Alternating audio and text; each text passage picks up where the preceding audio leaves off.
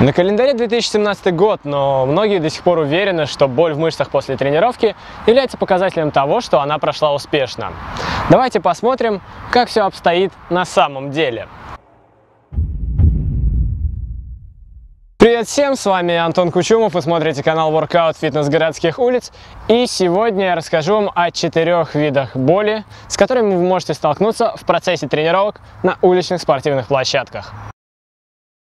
Первый вид боли, похожий на жжение, знаком, наверное, абсолютно всем. Когда вы выполняете упражнения, рано или поздно наступает такой момент, когда ваши мышцы начинают словно гореть. Это связано с тем, что в них накапливаются продукты распада, молочная кислота, ионы водорода. И у меня на канале есть отдельное видео по этому вопросу, поэтому не буду сейчас на нем зацикливаться. Хочу отметить, что именно из-за вот этого накопления рано или поздно наступает отказ в мышце, когда она не способна сокращаться дальше. Второй вид боли – это тупая ломящая боль в мышцах, которая может возникнуть в момент, когда они максимально сокращены. Например, можете попробовать отвести свою руку назад, максимально разгибая ее в локте, и вы почувствуете подобную боль в трицепсе. Это связано с тем, что когда вы сокращаете мышцу, вы сдавливаете нервные окончания, находящиеся на ее концах. И если вы переусердствуете с этим, то можете вызвать дополнительное рефлекторное усиление сокращения мышцы, которое в свою очередь вызовет еще больше сдавливания нервных окончаний и так далее, так далее, пока у вас не отрубится мышца. Это особенно весело можно попробовать на икроножных мышцах, доведя себя до такого состояния, когда вы просто не сможете стоять, вы упадете от боли. Проверено. Не то чтобы это приятно, но, но действительно это так и есть, да, будьте осторожны. Третий вид боли – это боль, возникающая при растяжении, и чаще всего она возникает не в самих мышцах, а в сухожилиях. Отличный пример – это отжимание на брусьях. Многие, когда отжимаются на брусьях, после того, как поделать несколько подходов, чувствуют, что у них вот болит центр груди. И, кстати, отсюда пошел именно миф о том, что вот есть отжимания для внутренней части груди, для средней, для внешней. Нет, на самом деле никаких таких нет отжиманий. Грудная мышца, она крепится вот у плеча и крепится в центре груди. Все, она горизонтально идет, то есть напрягаясь по всей, по всей своей длине. Это небольшое отступление, но суть в чем? Болят именно сухожилия. От того, что вы очень сильно растягиваете под нагрузкой эту мышцу, у вас регистрируется нервными окончаниями вот это вот растяжение и болят сухожилия. С этим нужно быть очень аккуратным, потому что, в отличие от мышц, когда у вас болят сухожилия, это ненормально. И, наконец, четвертый вид боли – это боль, которая возникает на следующий день или через день после тренировки. Она связана с тем, что во время тренировки в мышцах возникают микроразрывы, и это происходит, когда уровень нагрузки на тренировке выше, чем тот уровень, к которому готов ваш организм, и дальше эти микроразрывы и болят.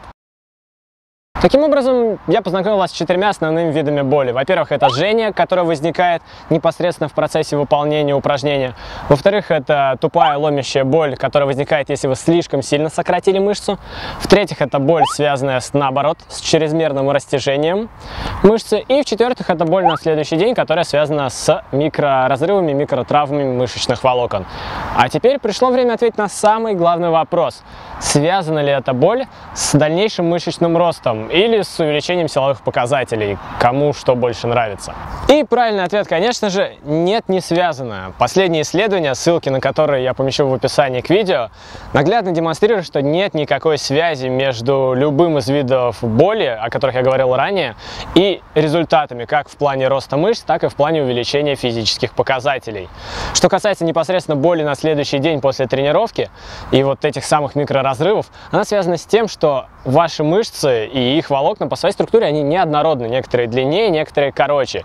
И, соответственно, когда вы их нагружаете, короткие разрываются. Затем, чтобы изменить свою структуру и стать длиннее. То есть ваши мышцы постепенно-постепенно приходят к однородности. И именно с этим и связан тот момент, что в какой-то момент времени после регулярных тренировок вы уже не чувствуете той мышечной боли на следующий день, которую чувствовали ранее. Но это не значит, что результата нет а может быть и значит. Потому что ваш результат зависит от других вещей.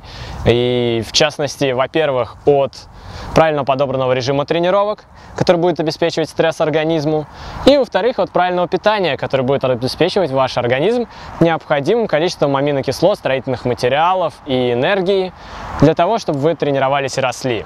Вот и все. Итак, мою миссию на сегодня, наверное, можно считать выполненной. Еще один миф был повержен. Надеюсь, теперь Вы не будете обращать внимание на то, болят ли ваши мышцы на следующий день, и переживайте, если этого не происходит, а сосредоточьтесь на том, чтобы составлять правильно программу тренировок, так, чтобы у вас действительно была прогрессия и вы шли к намеченной цели. С вами был Антон Кучумов, до встречи в следующих видео. Пока!